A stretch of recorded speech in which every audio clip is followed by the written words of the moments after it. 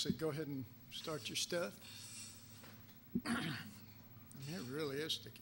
The last class, um, last statement I made is that the Exodus is important to the fathers. It's important to the divine father, it's important to the Egyptian fathers, it's important to Israel. It's important to every father that's involved in the whole situation. All of Israel and their firstborn sons, all of Egypt and their firstborn sons, and the father with his firstborn son. um, so, last class I said uh, and I didn't really deliver last class because I want to share it in here. I, I, mentioned that I may be sharing something you've never heard before. Uh, I would encourage you not to believe me necessarily, um, um, uh, but to check it out in the scriptures.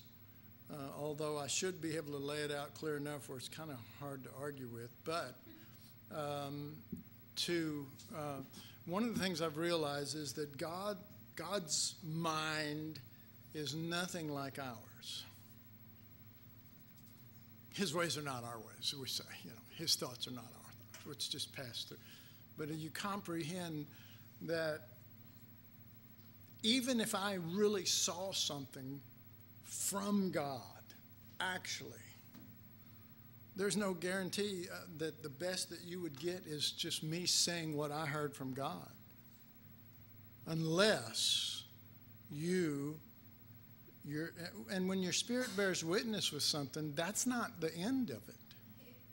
Well, I mean, it's not, and that's that, that tends to be our way. We we, you know, the Spirit bears witness. and go, okay, yeah, amen, that's true. But we don't, you know, that's not going to stick in us. My my saying his thoughts will not become life in you unless, of course, and the Spirit of God can quicken you or quicken that in you, but that's quickening it and it being a, um, it just being bearing witness that it's true is two different things.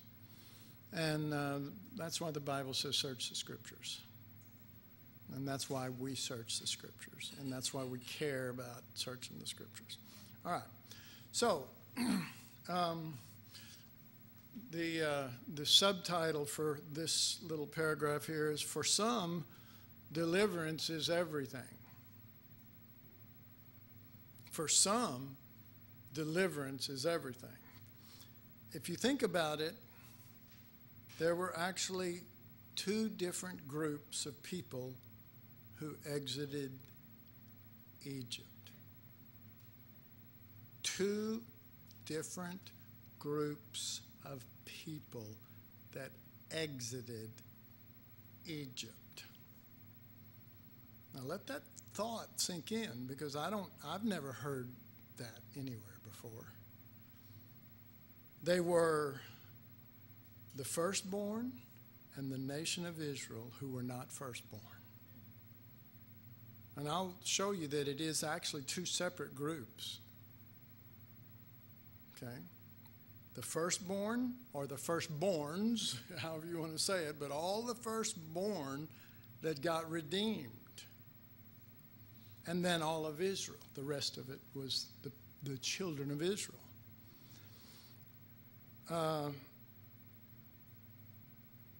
so I said, they, the firstborn and the nation of Israel who were not firstborn. The blood on the doorpost was so the firstborn of Israel would not die.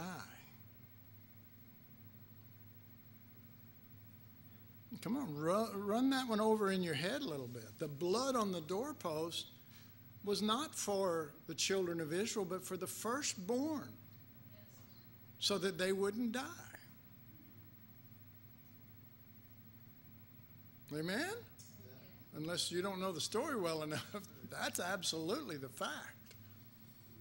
And the whole issue, by the time he finished the ninth plague, he said, I'm not dealing with all of y'all anymore on any level except firstborn. I'm only going to deal with Israel's or Egypt's or mine, but that's where it all, we're changing everything. And the middle of that's going to be a slain lamb. Okay. No one else was in danger except the firstborn of Israel. If they hadn't put the blood on the doorpost, if Israel hadn't put it on the doorpost, the firstborn would have died, but all the rest of Israel would have lived.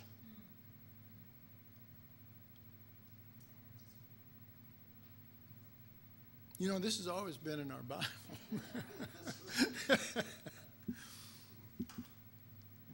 um, the firstborn were redeemed, but the Israelites that were not firstborns, the Israelites who weren't firstborns, were delivered. The firstborn were redeemed. The rest of them were delivered. Throw the uh, chart up there for me, Scott, if you wouldn't mind. All right, before we look at this, let me hit one last statement. One group was delivered from bondage, and the other was redeemed from death.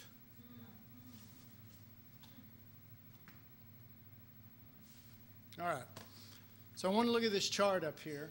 Um, chart number one has Israel, and then going out beside it is the facts pertaining to Israel as a people. And then underneath it is the firstborn of Israel. All right? So Israel was delivered, they were delivered from bondage by the slain lamb and they were a benefactor, and I'll explain that in a minute. But the firstborn were not delivered, they were redeemed from death by the slain lamb. slain, the lamb was slain to save the firstborn. Now, this can you at least see that just this information right here could change a whole lot of stuff? A whole lot of our concepts, a whole lot of the things that we've held as true. This all of a sudden goes, wait a minute. God's dealing with uh, his firstborn son. God's calling his firstborn out. All right. So, again, at the bottom of the, the chart number one there, the firstborn, the last part says, slain to sa- the lamb was slain to save the firstborn. But under, the, under Israel, at the very top, says benefactor. Israel, who were not firstborn, were simply benefactors of the Lamb who brought them out of bondage. They weren't the subject. They weren't the subject of, the, of it. They were just because the firstborn, they got the blood, because the lamb died, got the blood up there, and they ate it. The firstborn lived, and God said, I'm bringing my firstborn out. So, guess who gets to come along with them? Everybody else. They're benefactors. But it's not about them. And that's why at the very beginning of last class I said the Exodus is not about deliverance from bondage, which many people say and think and look at, and that's a secondary issue. All right, so let's go to chart number two there. Israel um, they were the saved nation is delivered from, and I got a speaker in my way there, Scott. Can you move it to the left a little more? Well, maybe not. I'll look Okay. All right. So the sa- uh, Israel, the saved nation, is delivered from sacrifice. I'll explain that one in just a minute. Number two, well, let's look. Let's let's just go down with the ones and the twos and threes. So, so the firstborn on number one, the saved firstborn is sacrificed. Now, here is a very important point that I tried to stress last time too. The saved firstborn belong to God from that point on. He redeemed them for himself. And he redeemed them, and what we'll see probably in our next next time we have this class, I'll just literally go down the scriptures and show you the progression in the scriptures of how when God started off, he just said, The firstborn are mine. I want all the firstborn for sacrifice, whether man or beast. Period. That's, that's how he started. And that was supposed to, because see, he didn't just immediately turn around in the next sentence and say, or the next verse and say, I'm just kidding, or something like that. He, that was supposed to stay until they went down the word a little bit. And I've even got, what I did was I put these scriptures down and I, I put them, I searched out where they were said at. These were in Egypt, these were in Succoth, these were at, at uh, Mount Sinai, this was after Mount Sinai. You see not only a progression as they move away from Egypt, but you see a progression in relationship to the sacrifice of the firstborn. Okay.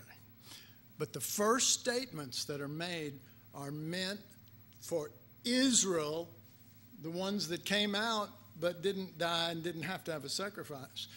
For Israel, in relationship to their firstborn, to go all the firstborn, not just now, but forever, belong to God in relationship to sacrifice.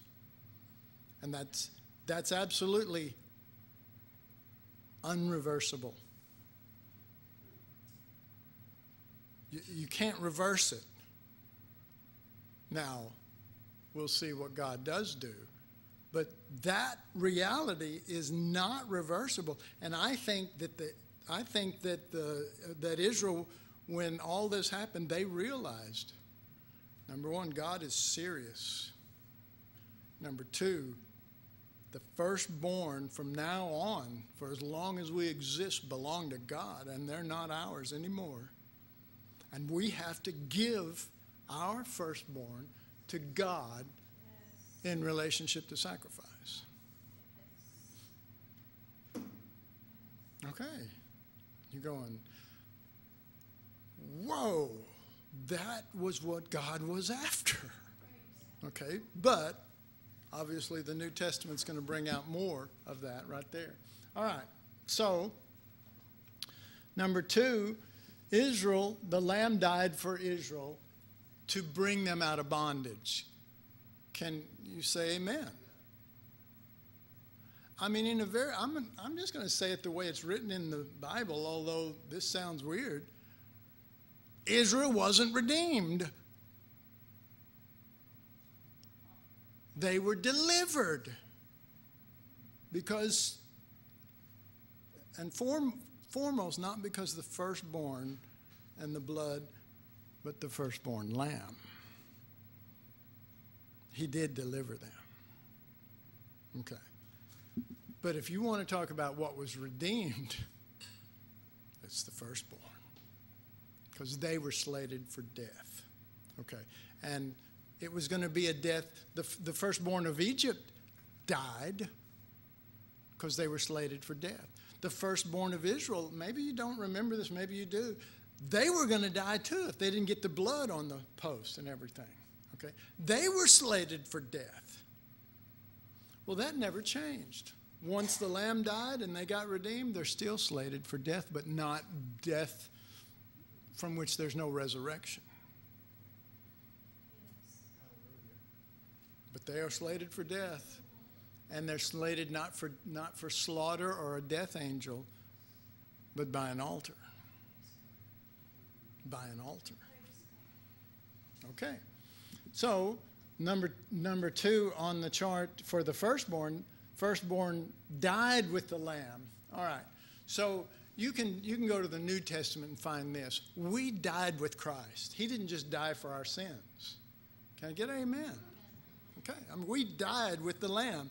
They when that lamb died in Egypt, the firstborn was dead then. That's our death.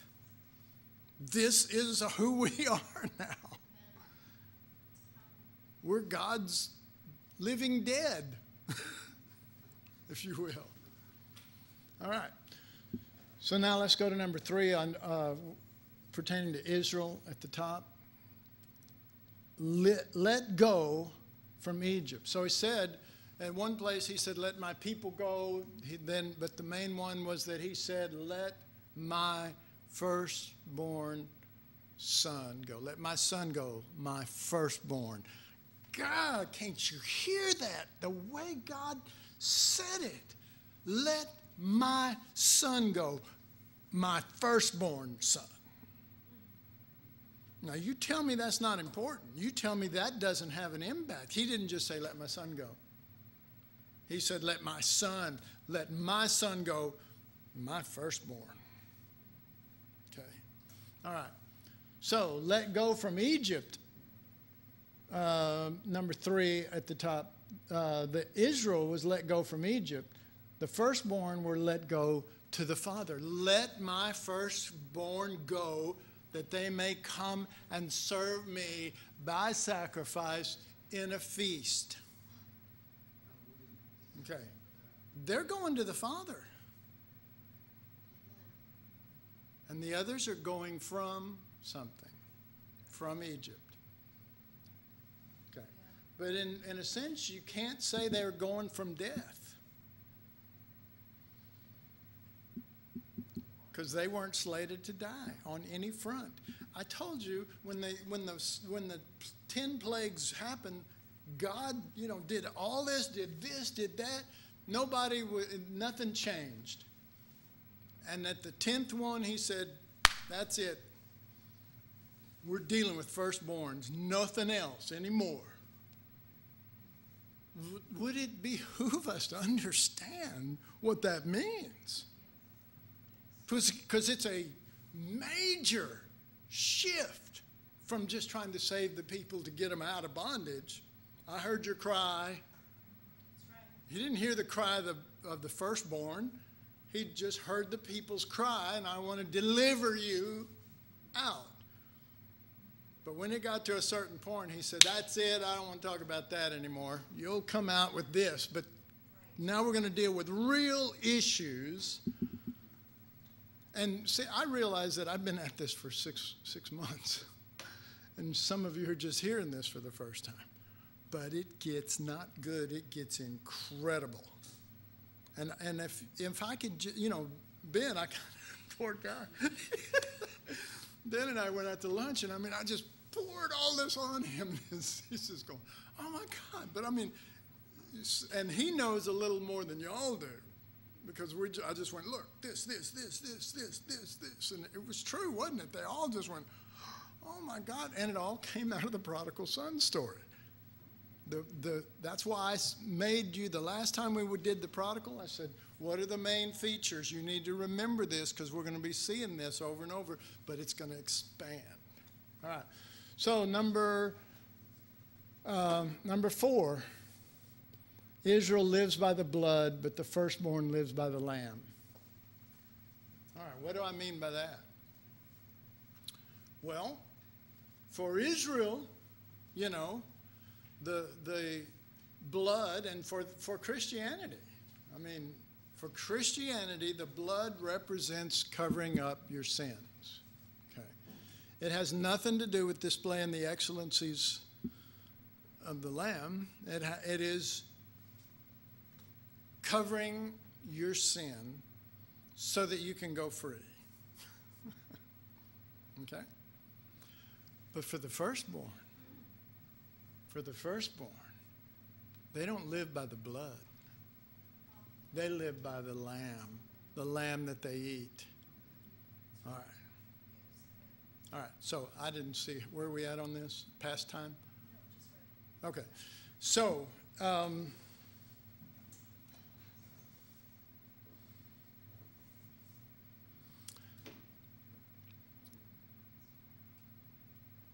this subject, I was surprisingly taken through every main character in Genesis. And it was so specific that it was scary. It didn't matter who was second born or third born, or it didn't even matter who was first born. It was who God said is the firstborn. Or may I say it, may I correct this? It's who the Father said is his firstborn son. That's all that ended up ultimately counting was God the Father. For example, in the case of Jacob and Esau, Isaac was the father of those twins, and Isaac chose his firstborn son Esau. But before they were born, God had already made a decision who was his firstborn and from where it all came. So that took me off into some of the prophets. And I couldn't believe it. You start looking in the prophets, and you know, one of the one of the well, the the division through the prophets is what? Kelly, the big division. Judah and Israel. And Judah becomes the firstborn. Now, and I, I can, on this one, I can go down scriptures one after another and go, look, look what the subject is. Look, look, look, look. And I can do it not in one prophet, but a bunch of them. And it's just like the issue with God the Father is his firstborn son. And, and let me take the blame. I've emphasized the son. But God has rearranged my understanding and my view. He does not just want his son, he wants his firstborn son. And he's serious. He's serious.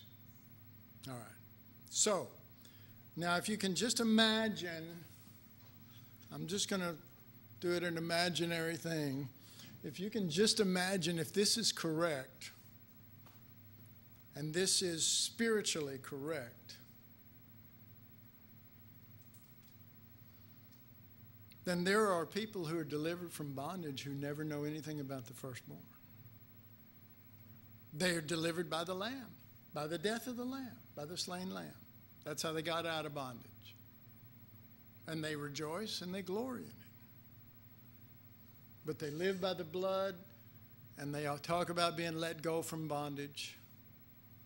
And they boldly and rightly proclaim that the Lamb died for them because it's all true. But if this if there's any semblance of truth in this, God's looking for his firstborn son. And that relates they they are related to him in sacrifice.